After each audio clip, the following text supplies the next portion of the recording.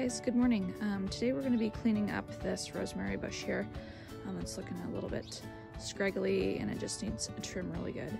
Um, and then we're going to take um, all of the rosemary that we've cut off and I'm going to dry that in the oven um, so I can have some dried rosemary. So let's get started. Okay, so the first thing you're going to want to do is make sure you're starting with a really clean pair of clippers. These are just my regular garden clippers and I clean these off with a um, alcohol wipe, so rubbing alcohol wipe. then I'm just to go through here and just clip off some branches that I don't really like the look of. I like to grow this rosemary more upright than out. So anything that kind of sticks out, I'm just going to go ahead and clip that off.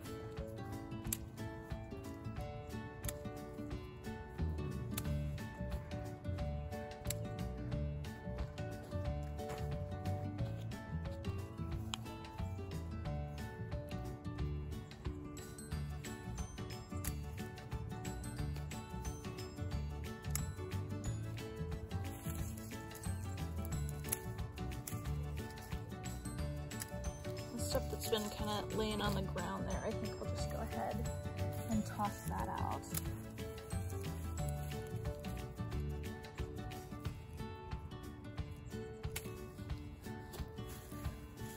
Okay, so I'm gonna work a little bit more down here and then we'll go ahead and take our rosemary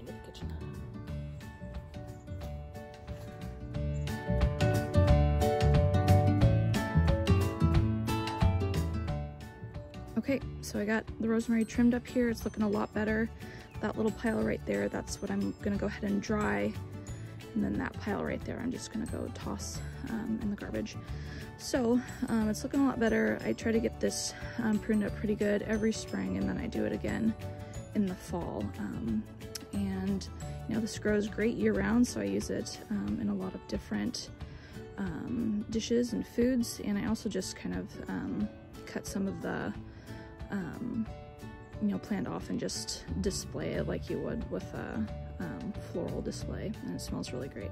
So I'm gonna go ahead and take those into the kitchen, get them washed up and cleaned, and then we'll get them into the oven. Okay, we're back in the kitchen. I'm gonna go ahead and get all this washed up and then dried, and I'm gonna let this air dry for a little bit too, just to make sure that all of the moisture is off of all the rosemary.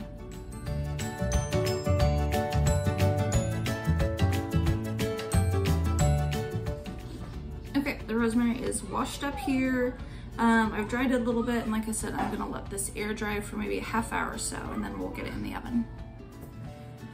Okay, our rosemary um, has air dried for a little bit. I'm going to put two cookie sheets that are lined with parchment paper into the oven. I have the oven set at 175 and I'm gonna let these go for um, at least 45 minutes. I'll check them at that point and see if they need to go a little bit longer. So we'll see you then. Okay, our rosemary is out of the oven. It did take about 45 minutes for everything to dry.